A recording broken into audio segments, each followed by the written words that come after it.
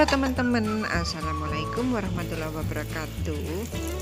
Nah di video saya kali ini uh, Saya mau masak lele ya Tapi nggak pakai santan.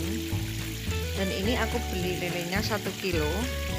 Sebenarnya udah udah dibersihin teman-teman Tapi uh, kurang bersih ya Kan di pasar cucinya cuman pakai air air pasar gitu. Jadi ini nyampe rumah tadi uh, aku cuci lagi dan aku mau potong kecil-kecil.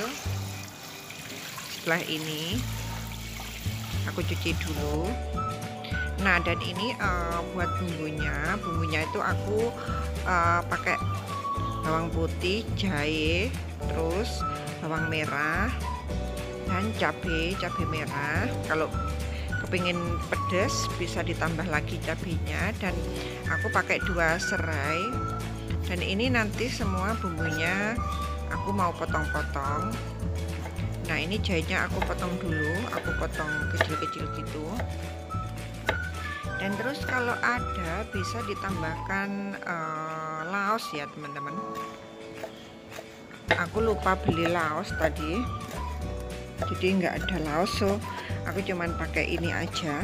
Kalau teman-teman ada laos bisa ditambahkan laos. Nah ini bawangnya juga aku potong kecil-kecil kayak gini. Serainya juga nanti aku potong-potong kecil-kecil. Pokoknya semua aku potongin kayak gini dan cabenya juga. So ikutin terus videonya sampai selesai ya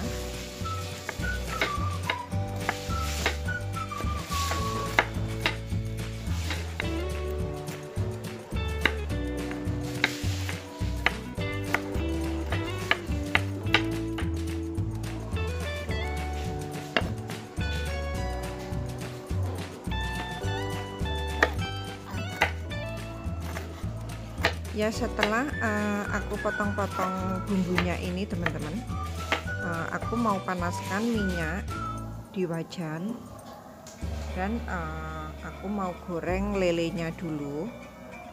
Nah ini minyaknya udah panas.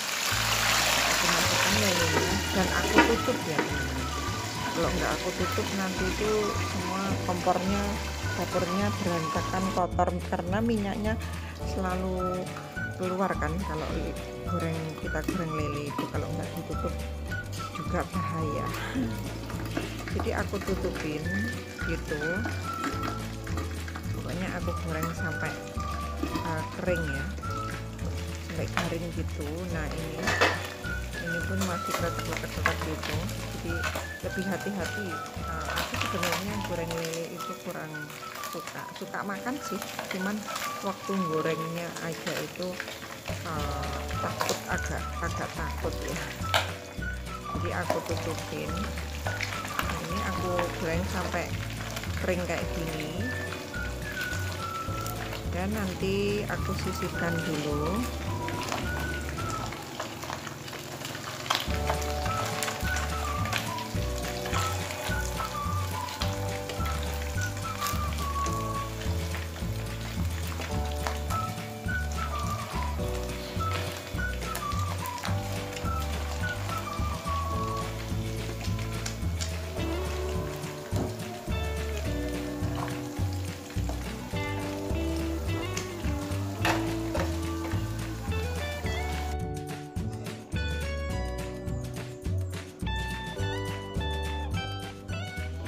setelah lelenya mateng ya teman-teman. Kering aku sisihkan.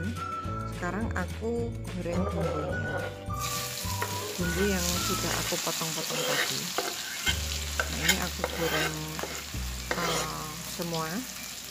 Dan kita goreng sampai mateng atau sampai kering gitu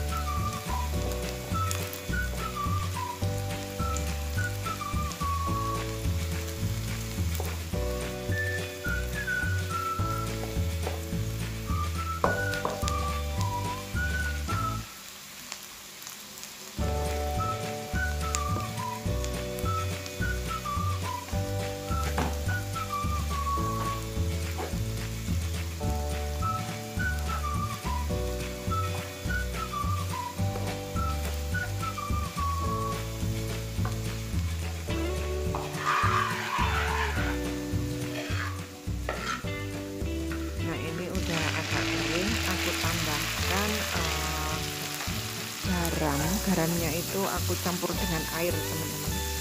Jadi biar biar uh, rata ya.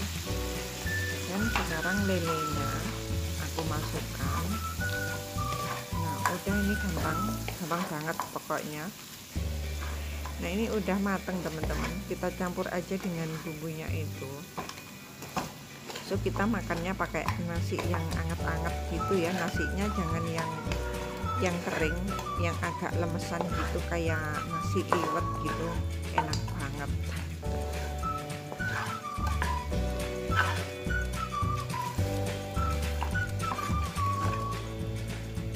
Nah kita tumis sampai tercampur dengan rata dan siap kita hidangkan.